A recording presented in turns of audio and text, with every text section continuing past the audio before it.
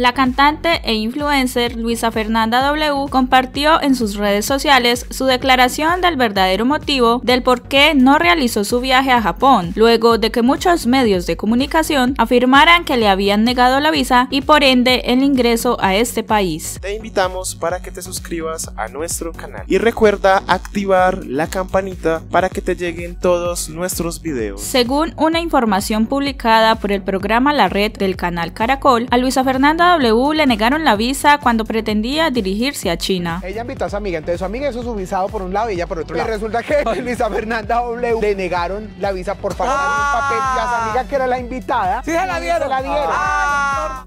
A través de su cuenta oficial de Instagram, Luisa compartió una fotografía que como según ella lo indicó, no tenía nada que ver con el mensaje que iba a escribir en su publicación, pero sentía la necesidad de aclarar lo que realmente sucedió con el viaje que iba a realizar al continente asiático.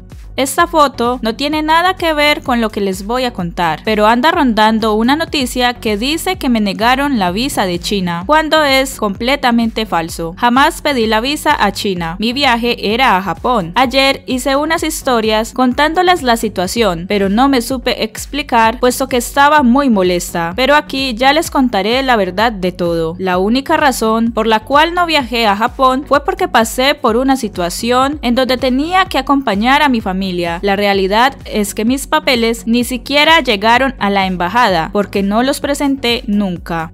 Además aclaró que fue lo que sucedió para que ella se quedara en el país. Por esa semana del viaje se entraron a la casa de mis papás y les robaron. Aquí el punto es que tenía que quedarme para solucionar todos los trámites de mudanza, porque obvio no podía dejar a mi familia en la casa donde fue el robo. Y es que no cabe duda que para Luisa Fernanda W, su familia ha sido y es lo más importante que ella tiene. Afirmó que todos estaban asustados, así que ella decidió cancelar todos sus planes para apoyar a su familia y manifestó su molestia con los medios de comunicación por compartir información falsa. Todos estábamos muy asustados y familia es familia. Yo no entiendo por qué los medios de comunicación ya no se toman la tarea de buscar la verdadera noticia y llegar a la fuente. De hecho, no sé qué está pasando con el periodismo, que ya los comunicados de prensa son los mismos en todas las plataformas. Solo dan copiar y pegar a la noticia. Por otra parte, como les decía ayer en mis historias, donde yo no fuera yo y viera tanta vaina que hablan algunos medios de comunicación acerca de mi vida, yo me caería mal. De verdad, por eso entiendo a algunas personas que vienen aquí a dejar odio, porque definitivamente muchos medios se han encargado de dañar mi imagen con noticias falsas o cosas contadas a su manera.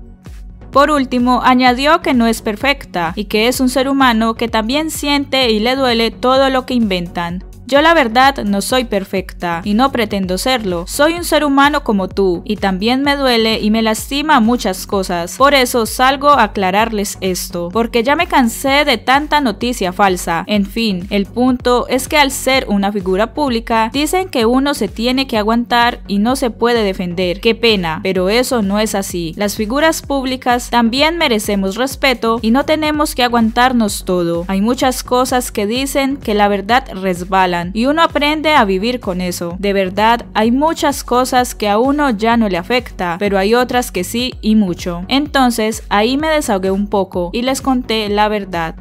¿Y tú qué opinas de esto? Cuéntanos lo que piensas en la caja de comentarios. Recuerda que tu opinión es muy importante para nosotros.